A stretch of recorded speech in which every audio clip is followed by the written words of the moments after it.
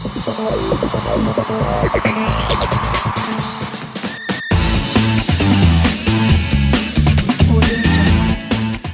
ับเข้าสู่ช่วงสุดท้ายของร้อยเรื่องร้านแล้วล่ะค่ะ วันนี้ไอเดียดีๆ ในการตกแต่งร้านเรามีมาฝากกัน คือ ร้าน Vintage Bicycle จากประเทศโรมาเนียนั่นเองนะครับ นะคะโอ้โห เรียกว่าเป็นบาร์ที่ว่าเท่มากๆเก๋นะครับมาก Vintage ชื่อก็บอกอยู่แล้วเป็นการย้อนยุคไปนะครับ ย้อนไปในสมัยอดีตนะครับ เพราะงั้นเนี่ยค่ะแรงบันดาลใจต่างๆ ที่นำมาตกแต่งร้านนะครับเขาก็เอาจักรยานนั่นเอง เอาจักรยานที่มันเป็นแบบเป็นแฮแฮนด์สวยๆนะครับหรือที่จักรยานนั่งชนิดต่างๆเนี่ย ล้อ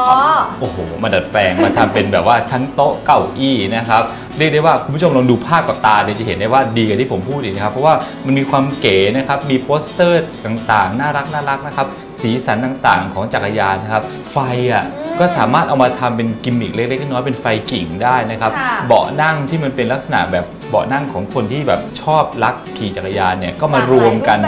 หลากหลายรูปแบบหลากหลายรูปแบบทำให้ค่ะเกิดฟังก์ชันต่างๆ เป็นสตูลที่นั่งที่เป็นเคาน์เตอร์ดื่มบาร์นะครับ ไม่น่าเชื่อนะใช่นะครับทำให้ร้านจักรยานเนี่ยดูเก๋ไก๋น่ารัก ไม่ใช่ร้านจักรยาน เลยดูเป็นร้านจักรยานไปเลยถูก ทำให้เป็นบาร์ที่เก๋ไก๋น่ารักนะดูเหมือนบาร์เพื่อสุขภาพยังไงไม่รู้นะ ดูดูแล้วมันแบบมีพลังงานนะมีใช่แบบรู้สึกว่าเอออยากจะแบบว่าออกกำลังกายอะไรทำนองนี้เป็นต้นนะครับ ค่ะ เก๋มากนะครับไอเดียดีมากๆก็นำมาฝากแฟนๆรายการนั่นเองครับ